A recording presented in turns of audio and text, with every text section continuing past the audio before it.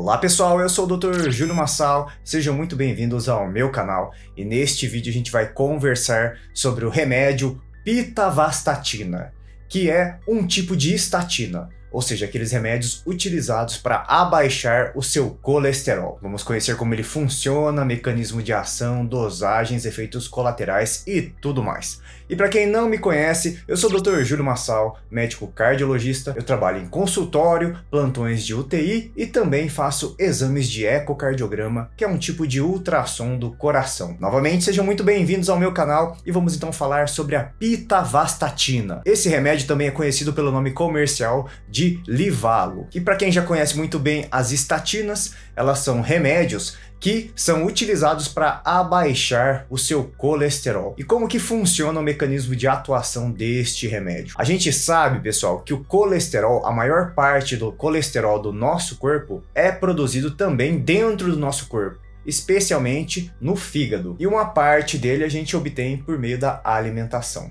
Mas no fígado, essa produção endógena nossa, que nós produzimos mesmo, ela é intermediada por uma enzima chamada de HMG-CoA redutase. E basicamente, então, a estatina reduz a atividade desta enzima. Consequentemente, essa reação de produção do colesterol, ela também é reduzida. E aí na prática o que a gente observa é redução do colesterol total às custas do colesterol ruim que nós chamamos de LDL. E um ponto bom é que nós costumamos também observar um aumento leve daquela fração boa do seu colesterol que é chamado de HDL.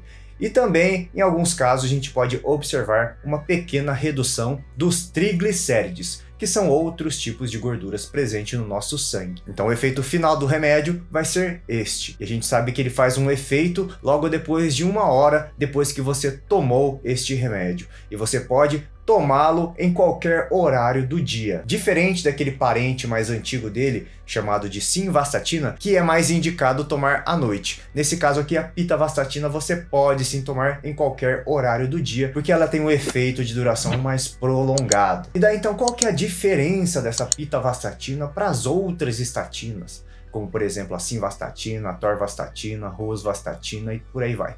Nesse caso aqui, a pitavastatina, ela tende a ser um pouco menos potente do que a rosuvastatina e a atorvastatina. Em contrapartida, ela também pode apresentar menos efeitos colaterais. Então ela pode ser sim interessante naquele perfil de paciente que não tem uma boa tolerância com as estatinas mais potentes. Mas isso é claro, tem que ser feito após consulta e indicação do seu médico. E aí, então já puxando essa ideia, os vídeos do canal aqui, pessoal, eu sempre reforço em todo vídeo de remédio. Eles são explicativos e orientações, porque a indicação de uso você precisa ter em consulta com o médico. E continuando aqui então, as apresentações deste remédio são em comprimidos de 2mg e 4mg. E as doses habituais vão ser de 2mg e também de 4mg, sendo que o máximo por dia é indicado 4mg. Normalmente não vamos ultrapassar essa dosagem. Se precisar de doses maiores, aí então pode ser que seu médico vai trocar o tipo de estatina. E os efeitos colaterais, o que pode acontecer mais comumente são dores musculares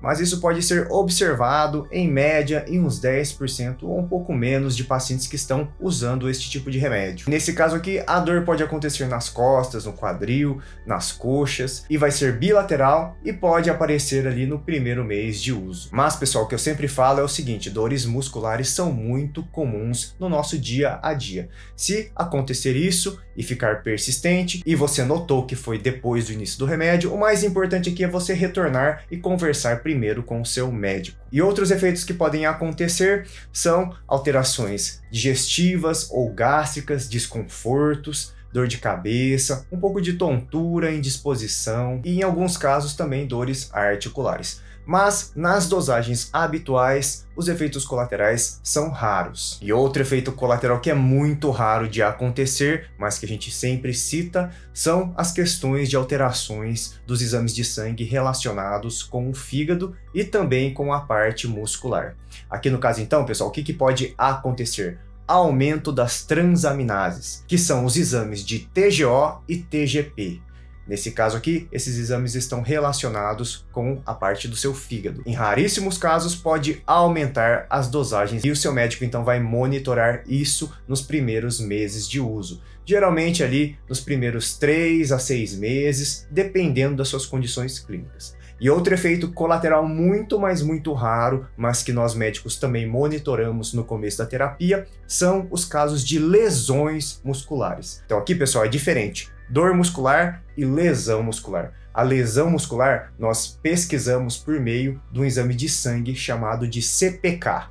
Se esse exame ficar alterado depois do início do remédio e não houver relação com atividade física ou com algum outro dano muscular secundário ou outra causa, Aí, no caso, então, pode ser relacionado com o remédio. E quando isso acontece, dependendo do nível, a gente pode então trocar ou até parar o remédio. Mas, como eu já disse, isso tudo a gente monitora nos primeiros meses de uso. E com certeza isso é muito, mas muito raro. Eu, particularmente, não tenho nenhum caso no meu consultório de lesão muscular secundário à estatina. Mas a gente sabe que no começo da terapia vai ser interessante a gente monitorar isso aí. E as estatinas, elas não são indicadas em mulheres que estão gestando gestantes ou mulheres que estão amamentando, salvo alguns raros casos de risco-benefício mas normalmente elas não vão ser indicadas. Pessoal, eu gostaria muito que vocês deixassem aqui nos comentários se você já teve alguma experiência com esse remédio, ou o que, você achou desse vídeo, ou também críticas e sugestões. E eu vou fazer o máximo possível para responder a todos eles. E você aí que chegou neste canal por este vídeo, eu sei que você tem muito interesse e tem muita preocupação com a sua saúde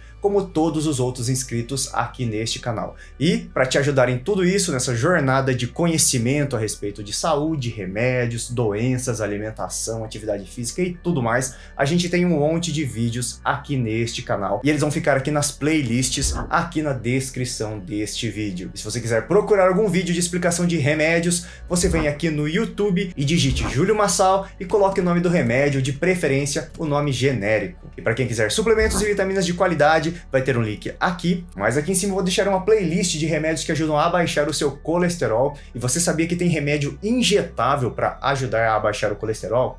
checa aqui ó, na playlist. E mais aqui do lado eu vou deixar o YouTube escolher o melhor vídeo para vocês. E não se esqueçam de compartilhar este vídeo para quem precisa desta informação.